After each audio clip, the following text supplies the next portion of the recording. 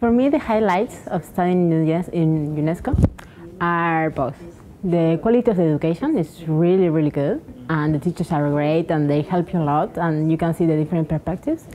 But also for me, what's really important is that is the students, the diversity of the cultures and the mixture and interacting and the social life is really important for me.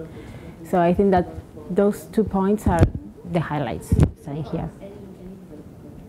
The city, Delft, is a beautiful city. It's really calm and quiet, but at the same time, there's a lot of social movements and there's a lot of concerts. As there are a lot of students living here, because okay, there's UNESCO and there's Delft, so we can all hang out together.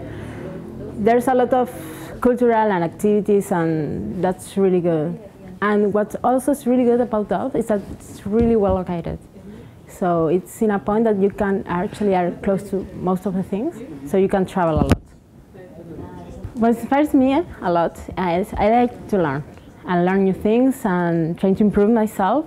So that for me is really important about that. And I think that UNESCO allows you to do that.